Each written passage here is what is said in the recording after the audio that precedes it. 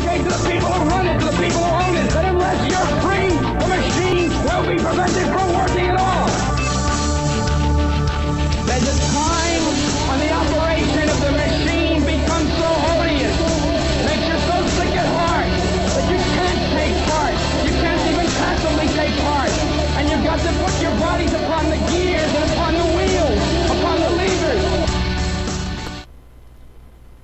Hello again, human beings from the planet Earth. This is just quick, uh, quick update on the lawsuit that I intend to launch against Google AdSense.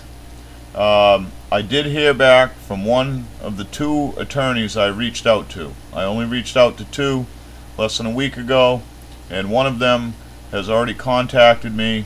Uh, I will leave them anonymous for now until I have a guarantee that they will take the case, but the preliminary investigation by the representative that called me uh, left him a little shocked that this has happened to more than just me.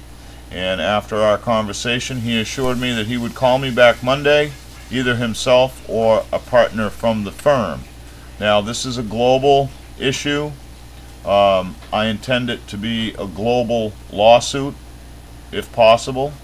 But I need everybody to share this information and everybody to get active. Uh, send me an email if you want more information or th if this has happened to you especially. I need to know. I need to know how to contact you. Um, and uh, you know let's just uh, keep plugging along. They've ripped enough of us off. Uh, rough numbers I mean just a guesstimate I would think that Google has stolen millions of dollars.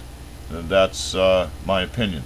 I don't have a mathematical equation to present to you to prove that. But uh, uh, I'm not doing this for no reason at all. I get no thrills out of, uh, you know, attacking corporations for no valid reason. But I am not going to put up with the bullshit. These corporate thieves are the reason our whole country is in protest. And if we don't start somewhere, it's never going to end except in an economic collapse and you and I be left with nothing. Much love, be safe, email Kevin at Master of Many Things if you can uh, help give information for this lawsuit or if you want to be counted in and um, I'll certainly put you in contact with the attorney when they decide uh, and if they decide to take the case. Much love, many thanks, and I'll keep you updated as soon as I know anything. Expect more information on Monday.